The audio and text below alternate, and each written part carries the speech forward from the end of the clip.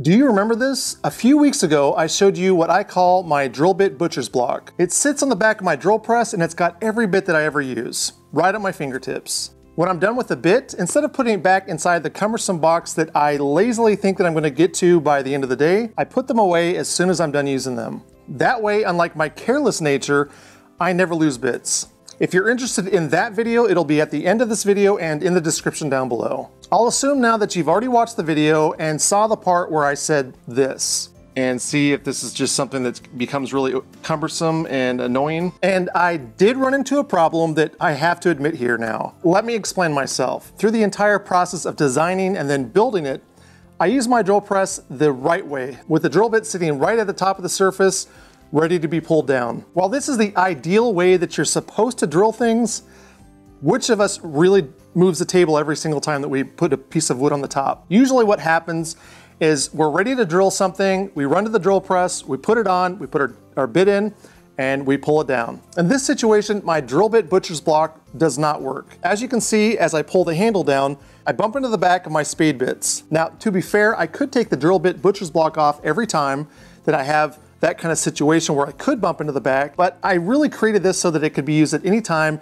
and not used with that kind of cumbersome movement of the blocks and putting it back on and all that. Instead of scrapping the drill bit butcher's block completely, I decided to go back and redesign the handle. Now redesigning the handle kind of fixes some of the problems I've had with the drill press handle in the past, and that is that you get to a point where it's difficult to kind of spin it around if you're using it with one hand, which most of us do our drilling with one hand, and then you kind of have to reposition it so that you can keep drilling. Not only does it fix my drill bit butcher's block problem with it bumping into the back, it also fixes the problem that I've been dealing with for a long time with the handle. With that explanation out of the way, let me show you what I came up with. Now, something I forgot to mention is that I only use my top handle. I don't use the other two that come out here. This is a really good tip because having all three of them, you're never using them hand over hand. You've always got your hand on the workpiece, so having three is kind of ridiculous. It never made sense. Although again, you have that problem where you can grab it at a different angle and you can have more leverage as you go down farther.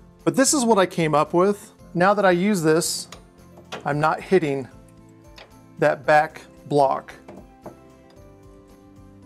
Just really fluid motion. Now at the same time, I have a lot of pushing power all the way around. And I think I get a little bit more leverage when I use this too, because I think it's a little bit longer. Now I'll show you quickly how I put this together. To build this, this is all I really need. These five different pieces. And honestly, I don't even really need to have the handle, but I like to be able to grab onto something and spin it instead of just having something twist in my hand like this.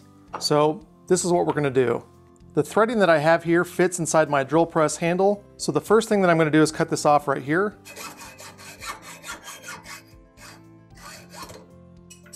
Now with this cut, I need to take the second tube here and I need to cut it off at this length right here. This end needs to fit inside of the hole, but we've got two problems. The first problem is where the seam comes together through the center. I could try to find some way of grinding that down, but I, am not going to. The second is that this is just a little bit too big. So I'm gonna cut a groove down the side of this, and then we're gonna check it up on the drill press, and we're gonna sand it down so that it fits inside.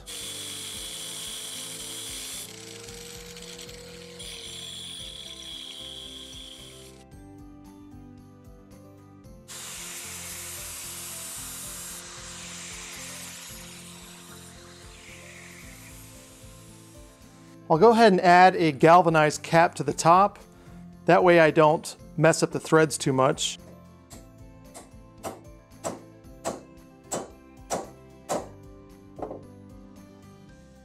At this point, I added my 45 degree angle. I'll go ahead and attach this I did make the handle, but I'm not showing how I made it in this video. I've got a separate one on the side. It's about a minute long. It is one of the bite sizes that I made that explains it. It's a very thin tube. It's really nice. I added a little WD-40 to the bolt, so this slides on really well, like that. And then this attaches up here. Now this is a pipe, so this is gonna be a little bit tapered. I'm just gonna wedge it on. Thank you so much for watching, and if you design and build drill presses, especially in the handle division, Make sure that your people call my people and we'll figure out some kind of payment for this idea. I want to thank my patrons and invite you to become a patron where you'll get early access as well as seeing some of the secret upcoming projects that I have going on. Thank you, Michelle B., Keith Current, William L. McNally, Jerry Adams, Tommy QR, Zach Finch, Rich Lightfoot, and James T. Hit the thumbs up, subscribe, ring the bell, and I thank you so much for being a part of my shop. Please leave a comment below. Come find me on Instagram at Make Things with Rob, and remember to keep making things.